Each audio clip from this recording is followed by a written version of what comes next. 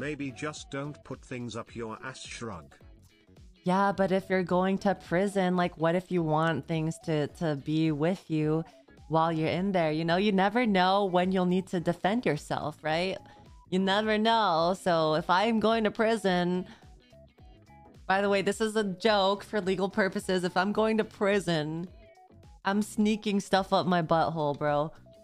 That's a joke. That's a joke. Which I wouldn't be going to prison because I'm a good citizen and I am and I'm very innocent and and I've never done crime in my life. Never done crime in my life and I don't think I'll ever go to jail or prison. Um in before Yuzu goes to jail in like five years. Please, you're scaring me. I'm kidding, I'm kidding. Holy shit. That's it. Pulls out boozy gun. Boozy gun.